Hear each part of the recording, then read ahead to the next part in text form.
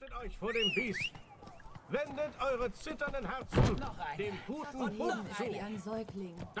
Ah, das ist unser feines Pferd. der offenen Tür So ein Biest hat wohl auch Na, das sieht ja großartig aus. Und goldene Scheuklappen. Nur das Beste. Geißel. Ich laufe trotzdem zu Fuß weiter. Die Wache lässt uns friedlich schlafen. Übeltäter wird sie strafen.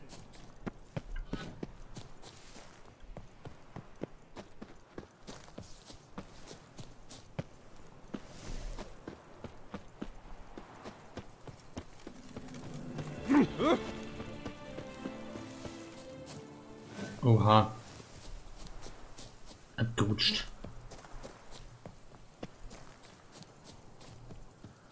Ist das hier, wo wir hin müssen?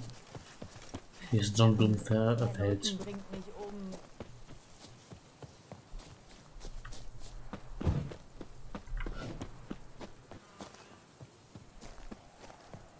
Mit gezogenem Schwert durchs Warum Sonnenblumenfeld. lasst ihr mich nicht alle in Ruhe?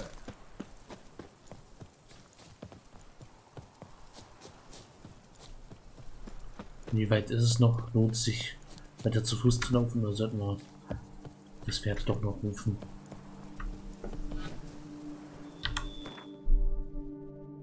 Ach, sind ja schon so gut wie da.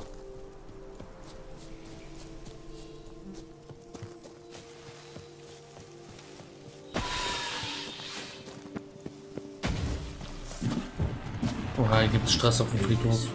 Natürlich müssen wir uns hier treffen.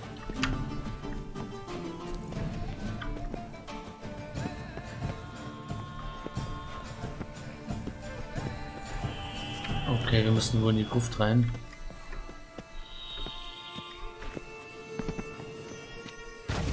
Gehen wir irgendwie von oben rein oder? Ich habe jetzt eigentlich nicht so viel Bock auf Kampf.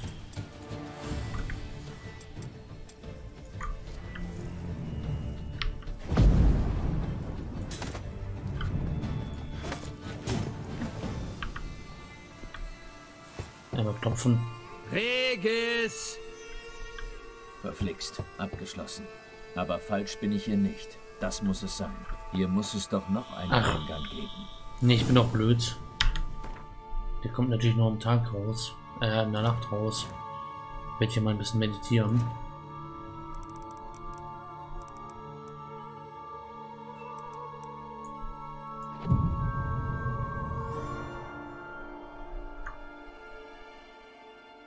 Der lässt sich am Tag noch nicht blicken.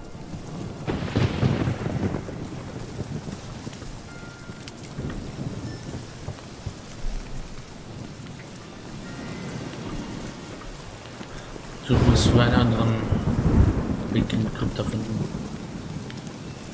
Pavel Saska, Sasko. Von kleiner Statur und großem Geist. Ein feuriger Tänzer, vergaß leider zu essen und starb. Die Grabs, die Grabinschriften sind ja auch herrlich. Müssen wir gleich mal machen. Carolina Stahira. Es macht keinen Spaß, Schwächlinge zu töten. Wer Blut fließen lassen will, soll das eines Königs nehmen.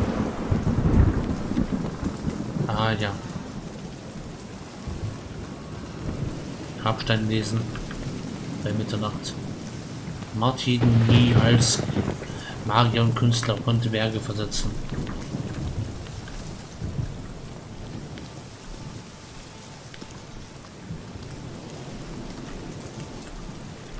Hier ist noch einer zum Lesen. Nathalie Morotz, Hofzauberin von Herz Herzogin Adem Martan, hatte ein Herz grü- gewöhnlichen Leute.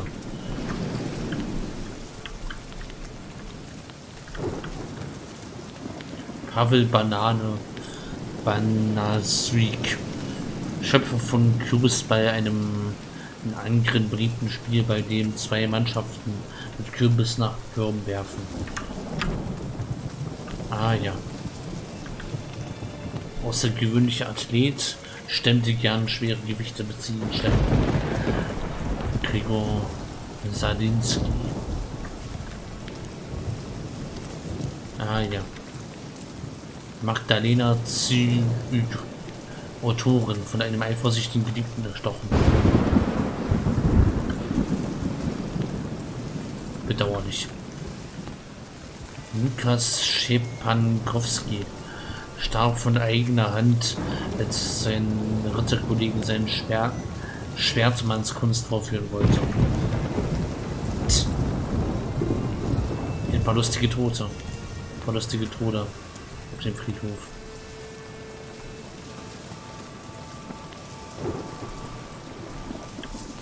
Ich habe einen Ghoul. Weicher.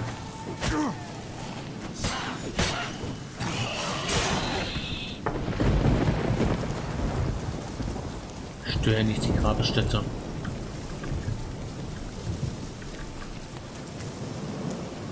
Raphael Yaki hat nie den Rücken gebeugt. Erst recht nicht, um Ohrens aufzuheben.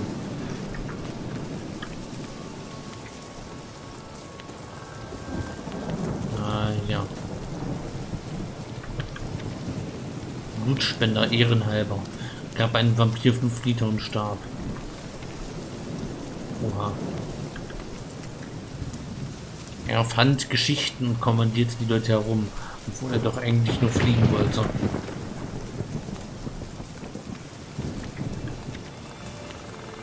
Unablässig auf der Suche nach Vollkommenheit.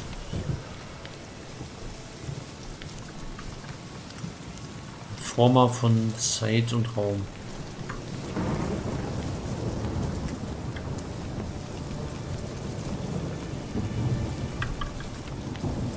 Bestellt die Felder von Duclair. Starb beim Klang der Musik. Sprach leidenschaftlich gern Nilfgaardisch und gleich grammatisch etwas unsauber. Ah ja.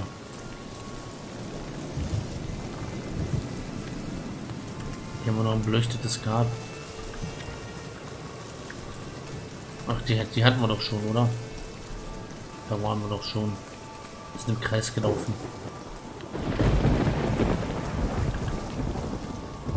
Komponist. Er war es, der von den blauen Bären Komödie ver verfasste. Oh wei. Er wurde also ermordet.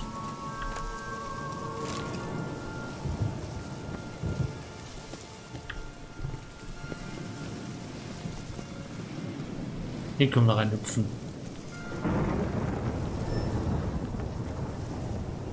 Aber ganz vorsichtig, sonst bringt es uns hier noch um.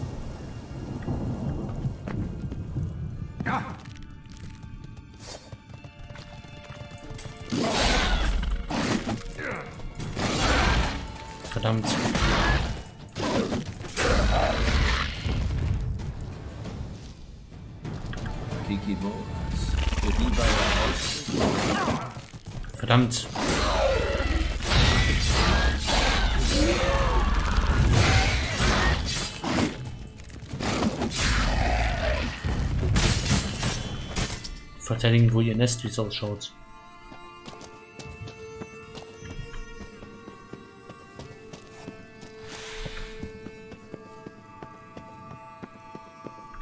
Du wirst nicht dein Schwert einstecken.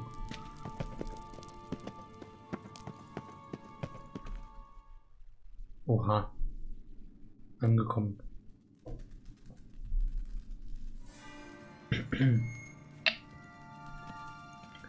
Treffen wir den Vampir. Verabredet mit einem Vampir auf einem Friedhof. Noch mehr Klischee geht nicht.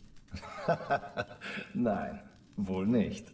Du hättest die Tür offen lassen können. Und meine Privatsphäre? Die ist mir wichtig. Ich mag es nicht, von ungebetenem Besuch belästigt zu werden. Außerdem wusste ich, dass du irgendwie reinfindest. Ganz recht. Ich muss deinen Freund finden. Ich hoffe, du bist bereit, mir zu helfen. Ich werde tun, was ich kann. Aber deine Wünsche und Absichten spielen kaum eine Rolle. Wichtig ist, was Detlef will. Wenn er nicht gefunden zu werden wünscht, dann findest du ihn nicht. Punkt. Komm schon, das muss doch möglich sein. Vampire können sinnliche Erfassung vermeiden. Und Weissagungsmagie funktioniert bei ihnen auch nicht. Das präziseste Megaskop wäre zwecklos. Und dies? Kann das helfen? Wo in aller Welt hast du denn das her? Eines der Opfer wurde in der Flussbiegung gefunden. Der Körper war zerteilt. Man fand drei Hände. Die Hand mit dem Ring kam mir seltsam deplatziert vor. Eine Bruxa hat sich dafür interessiert.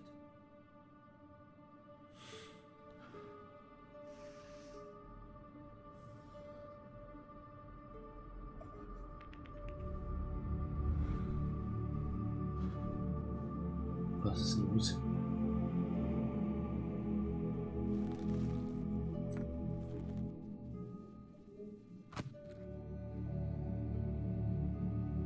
Es ist zweifellos Detlefs Hand. Die wird prima funktionieren. Okay. Die Hand. Was hast du damit vor? Du kennst gewiss die Theorie von Covinarius zum Gewebegedächtnis? Hm, da klingelt was.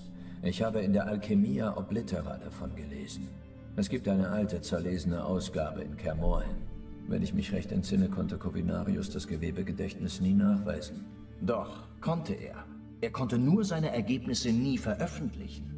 Wir standen in Kontakt, nachdem wir Freunde geworden waren. Daher weiß ich, dass er seine Forschungen und erste Tests abgeschlossen hatte. Es ist kompliziert. Ohne in Einzelheiten zu gehen, es ist möglich, anhand von beliebigen Gewebeproben zu rekonstruieren, was dem ganzen Körper zugestoßen ist. Wie funktioniert das? Oha. Brauchen wir Spezialausrüstung? Wir müssen einen Absud brauen, für den Covinarius den poetischen Namen Resonanz fand. Der versetzt uns wie ein Narkotikum in Trance. Er löst Visionen von Ereignissen aus, die mit starken Emotionen desjenigen verbunden sind, dem das Gewebe gehört. Man träumt quasi einen Ausschnitt des Lebens eines anderen. Können wir vielleicht sehen, was Detlef Interessant. tat, bevor er die Hand verlor? So ist es. Ich hoffe allerdings, dass die Resonanz uns auch verrät, wo Detlef sich verborgen hält. Der Ring ist interessant. Ich kenne das Metall nicht. Und die Verzierungen? Er stammt aus unserer Heimat, in der wir vor der Sphärenkonjunktion lebten. Er gehört mir. Ich erhielt ihn von einem guten alten Freund. Du könntest ihn als Humanisten bezeichnen. Er sah uns Vampire als Gäste hier, die ihren Gastgebern, also Menschen und alten Völkern, Respekt schulden. Respekt? Also keine Behandlung wie Schlachtvieh? Genau. Und ich wiederum gab den Ring Detlaf, um ihn an die Ideale meines alten Freundes zu erinnern. Okay. Kannst du Detlef nicht einfach herbeirufen? Ihr seid beide höhere Vampire, das muss doch möglich sein. Wenn ich ehrlich sein soll, es gibt wirklich eine Möglichkeit. Aber glaub mir, wir sollten sie nur dann nutzen, wenn uns keine andere Wahl bleibt. Als letzten Ausweg also? Und warum?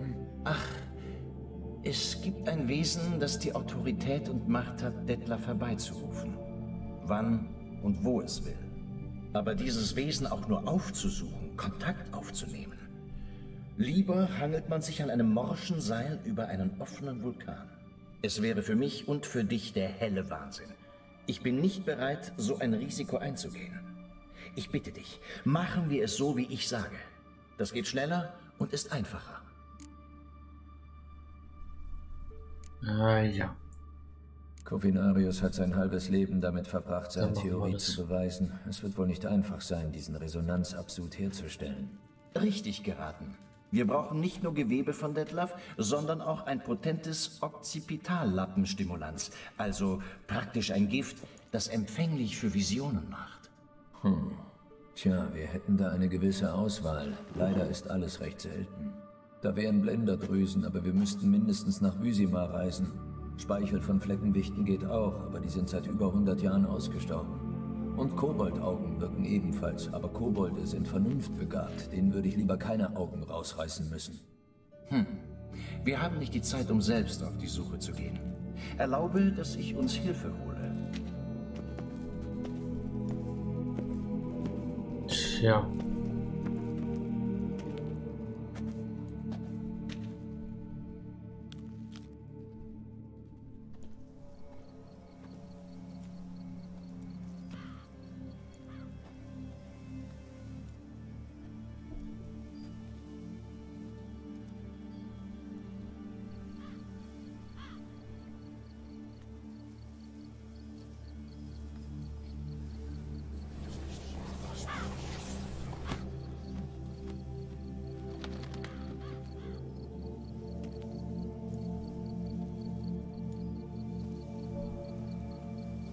Was war das? Ein Rabe. Nicht ungewöhnlich in diesen Breiten. Sehr intelligente Vögel. Ich bat ihn, nach den Kreaturen zu suchen, die du erwähntest. Ihn und seine Kollegen. Vielleicht finden sie in der Gegend etwas. Ich nehme an, ein Rabenschwarm ist fixer als ein einzelner Hexer. Ohne deine Fähigkeiten in Zweifel ziehen zu wollen. Dennoch werden sie eine Weile brauchen. Also, wie wär's mit einem Alraunenschnäpschen? Warum nicht? Trinken wir. Zu einem Schnaps sage ich nicht nein. Leider ist das eher Wein als Schnaps geworden. Noch besser. Ich kenne deinen Alraunenschnaps. Der lässt einen Dinge sagen, die man besser für sich behalten hätte. Was in aller Welt sollte Gerald von Riva lieber für sich behalten wollen? Da gibt es wahrscheinlich einiges.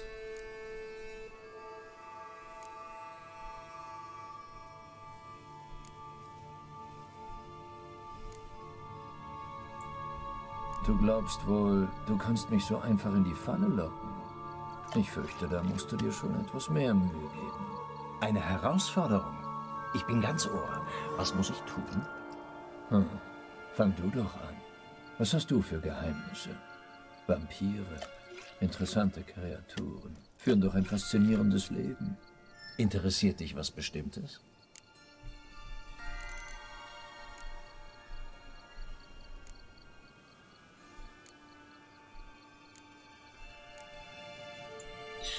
Ja,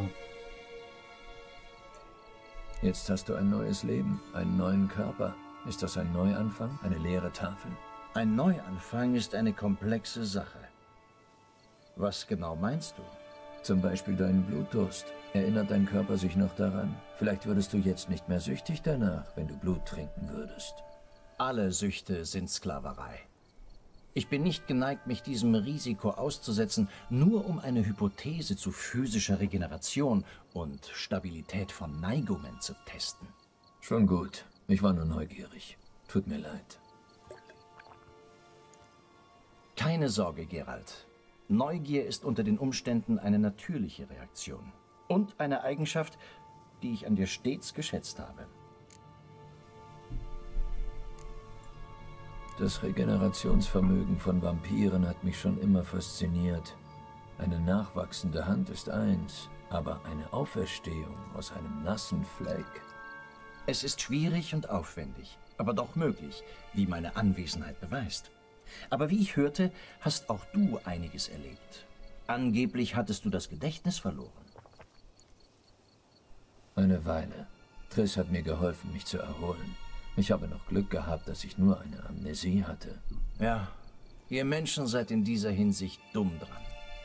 Dabei ist es so leicht, euch ums Leben zu bringen. Ihr habt mir da immer leid getan. Uns Vampiren ist viel schwieriger beizukommen. Wenn wir tatsächlich umgebracht werden, können wir mit Hilfe eines höheren Vampirs wieder auferstehen. Nur dachte, wenn wir von der. Hand eines anderen Vampirs sterben, ist der Tod für immer und es gibt keine Auferstehung. Das ist einer der Gründe, warum höhere Vampire vor langer Zeit geschworen haben, nie gegeneinander zu kämpfen. Ich muss dir die Frage stellen, die sich jeder stellt. Was geschieht nach dem Tod? Ich soll dir sagen, ob der menschliche Glaube an Götter begründet ist? Das kann ich nicht. Wir Vampire sind komplett andere Wesen als ihr Menschen. Wir können ohne Form existieren. Wir brauchen kein Herz, kein Hirn und keinen Atem. Warst du dann tot? Nach menschlichem Verständnis des Begriffs, ja, Und hast du etwas gefühlt oder gedacht? schwer zu erklären. Ich fühlte etwas sehr Unangenehmes. Ich kann es nicht mal benennen, weil ich nicht denken konnte. Erst nach meiner Auferstehung begann ich zu begreifen, dass es kalte, unvorstellbare Angst war, die ich gefühlt hatte. Wäre Detlef nicht gewesen, wäre ich wohl im unendlichen eisigen Terror ertrunken. Mhm. Dann kannst du nicht lebendig gewesen sein. Puh, ein übles Erlebnis. Tja, wirklich. Es ist mit kaum etwas zu vergleichen. Aber wir sehen den Tod trotzdem anders als ihr. Ihr klammert euch ganz erstaunlich ans Leben. Dabei seid ihr sterblich. Die Sache ist schon ausgemacht, der Tod ist euch gewiss. Es ist nur eine Frage der Zeit. Es ist schwer zu Da sagt er verstehen, was. warum ihr euch so abrackert. Ob man nun mit 20 stirbt, mit 40 oder 100. Das sind doch alles nur Augenblicke. Kommt auf den Weiße Standpunkt Worte. an. Wer eine Million Kronen ausgeben kann, versteht jemanden nicht, der nur 20 Kronen hat. Wie wahr. Es hängt wirklich viel vom Standpunkt ab. Aber irgendwo hat er recht. Ich wüsste gern, was du getan hast, nachdem du auferstanden bist. Da war ich zunächst vollauf mit meiner Erholung beschäftigt, wie du dir vorstellen kannst. Ich bin immer noch nicht der Alte. Aber im ersten Jahr war ich so schwach, dass ich nicht gehen und stehen konnte. Detlef ertrug meine Schwäche mit großer Geduld. Wäre er nicht gewesen, wäre ich jetzt nicht hier. Denn meine Regeneration hätte viel länger gedauert. Als ich endlich alleine stehen konnte, ging ich nach Brugge, in meine einstige Heimat Dillingen. Ich lebte das friedliche Leben eines Heilers und Chirurgen auf dem Lande. Ich genoss den Respekt meiner Nachbarn und tat eigentlich das genaue Gegenteil von dem, was Vampire nach landläufiger Meinung so machen. Brugge? Hat deine Auferstehung dich sentimental gemacht? Vielleicht ein wenig. Und du? Wo bist du gewesen? Hast du Cyrilla gefunden?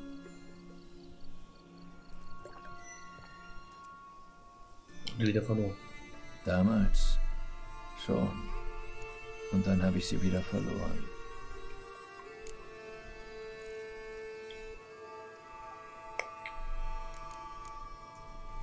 Also gut. Du hast eine Frage frei. Was willst du wissen?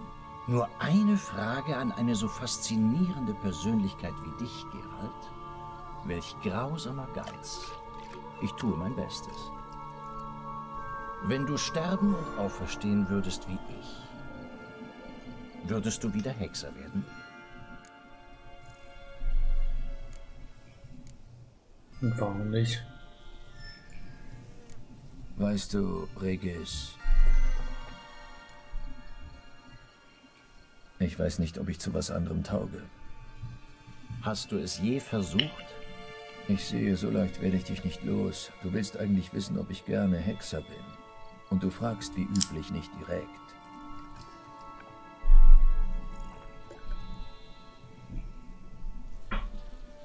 Ich bin gern auf der Jagd, lese Spuren, finde Hinweise.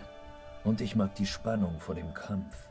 Nichts setzt so viel Adrenalin frei wie ein Kampf gegen eine Bestie. Sogar an die Verachtung der Menschen habe ich mich gewöhnt. Ja, ich denke nicht oft drüber nach, aber ich bin gerne Hexer.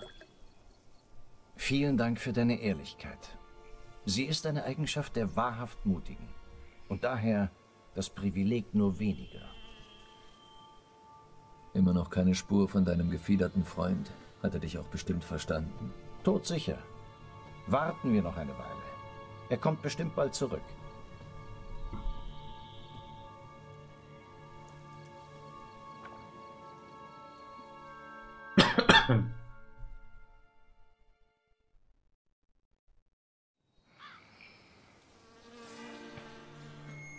Einige Zeit später.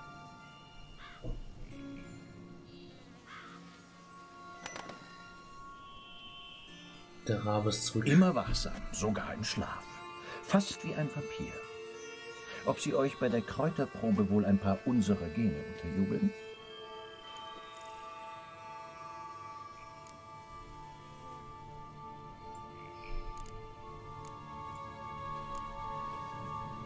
Nicht, dass ich wüsste. Und? Was gibt es? Du hattest recht. Meilenweit keine Kobolde und keine Blender. War klar. Darf ich ausreden? Es gibt einen Fleckenwicht in einem verlassenen Anwesen im Karoberta-Wald. Unmöglich. Meinesgleichen haben sämtliche Fleckenwichte ausgerottet, bevor ich geboren wurde. Dann musst du wohl deine Ansichten über Fleckenwichte korrigieren. Dieser hat jedenfalls den Hexerfeldzug überlebt. Hm. Ich glaube, ich kenne das Haus, in dem er sich eingenistet hat. Die Leute halten es für verflucht. Vielleicht konnte er deswegen ungestört dort hausen.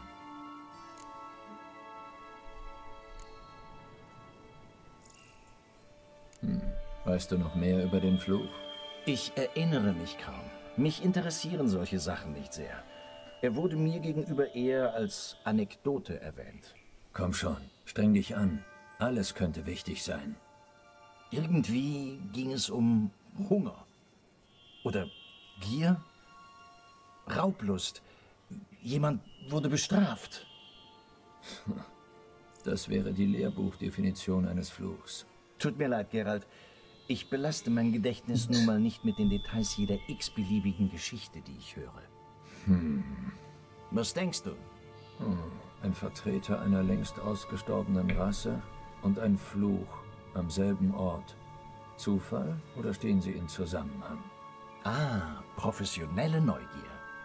Ich habe nichts dagegen, dass du diese Frage untersuchst, aber denk bitte dran, dass wir nur etwas Speichel vom Wicht brauchen. Sonst nichts.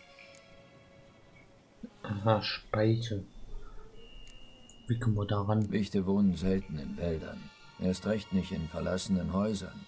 Sie bewohnen die entlegene Wildnis, alte Friedhöfe. Worauf willst du hinaus? Vielleicht ist es gar kein Fleckenwicht. Dein gefiederter Freund könnte sich geirrt haben. Das möchte ich bezweifeln. Raben sind hochintelligente Kreaturen mit hervorragender Beobachtungsgabe. Und was genau haben Sie beobachtet? Das Gebiet um das Anwesen ist voller Löffel. Löffel? Löffel? Erspar mir das skeptische Grinsen. Ich habe mir das nicht ausgedacht. Vielleicht hortet dieser Fleckenwicht Schätze. Oder die Löffel haben etwas mit dem Fluch zu tun. Mhm. Löffel also. Also los. Du setzt schon mal den Absud an. Ich besorge den Speichel. Den müsste ich in seiner Suppe finden. Meinst du, der Wicht verkauft dir einfach was? Im schlimmsten Fall bringe ich die Speicheldrüsen mit. Die müssten es auch tun. Ich dachte schon, du wolltest ihn bitten, in ein Reagenzglas zu spucken. Ja, die Speicheldrüsen wären wunderbar. Also, bis später. Ja, bis dann. Ich fange mit ein paar Büchern an. Bücher? Ich dachte, du machst den Absurd. Wir brauchen da noch eine Zutat. Aber die muss man erst mal kriegen. Hoffentlich kann ich eine Alternative finden. Gut, viel Glück. Dir auch, mein Freund. Vielleicht finden wir irgendwo einen Löffel. Die können wir dann eintauschen. Hier ein bisschen Spucke. Das wäre eine Möglichkeit.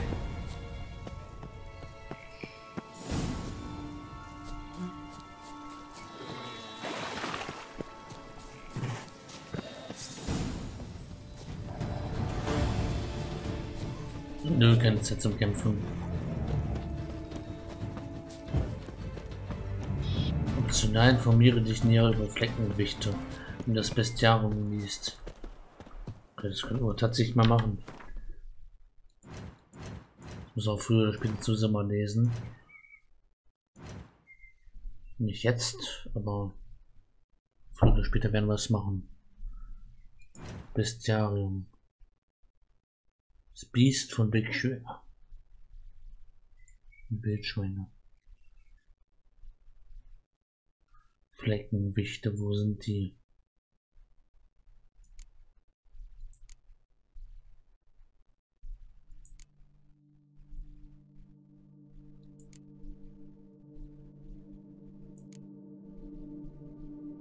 Fleckenwicht. Beste Verteidigung gegen Fleckenwichte besteht in Ruhe und Stille. Abhandlungsfragment über Fleckenwichte von Roderick Gilligan. Fleckenwichte sind eine von Hexhorn praktisch ausgerottete Unterform der Wichte. Sie sind größer als ihre fleckenlose Verwandten und verdanken ihren Namen den zahllosen Flecken und Absonderungen ihrer Haut. Fleckenlichte, Fleckenwichte leben meist auf alten Friedhöfen fernab des der Wildnis. Es kommt jedoch auch vor, dass sie in verlassene menschliche Behausungen unterkriechen. Ihre größte, größte Leidenschaft besteht darin, sich aus ihren eigenen Absonderungen eine Suppe zu kochen. Wenn man sie nicht stört, sind sie nicht sehr aggressiv. Fühlen sie sich aber allerdings bedroht, können sie sehr gefährlich werden. Bei tiefen Temperaturen fallen sie in eine Art Winterstarre. Manche sagen, Hexer hätten eine todsichere Art gefunden, Fleckenwichte zu überwältigen. Es soll etwas mit dem kühnen Einsatz des Irrendenzeichens zu tun haben. Aber vielleicht ist es auch nur Hexagon. Im wirksamen Kampf haben wir hier Öl, Igni und Irden. Mit Igni kriegen wir auch. Okay, Igni ist wirksam, also. Mal schauen. Öl können wir also einsetzen. Haben wir Öl im Inventar? Könnten wir das mal ausrüsten?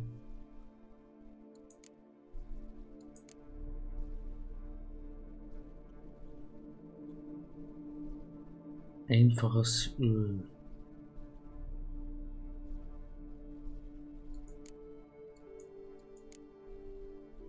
Öle haben wir hier.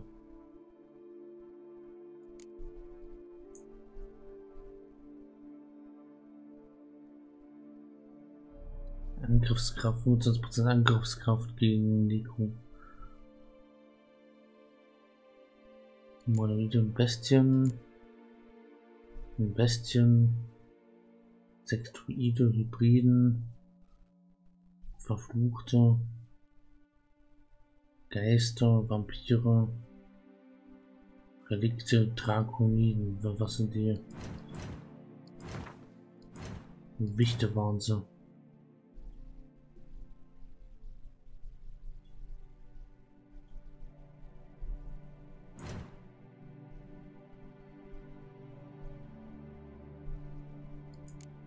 Nekrophagen sind sie wohl.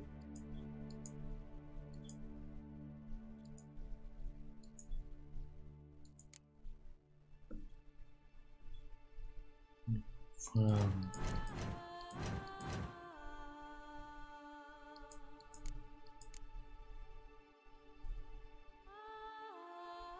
Manoiden mit Nekro Angriffskraft gegen Nekrophagen. Das können wir gebrauchen.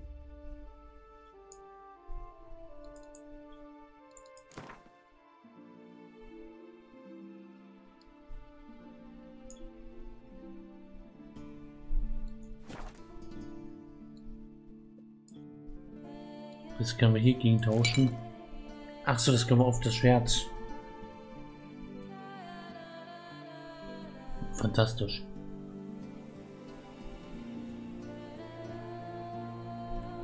Und Bomben können wir auch welche. Falls wir jemals wissen, wie wir die einsetzen.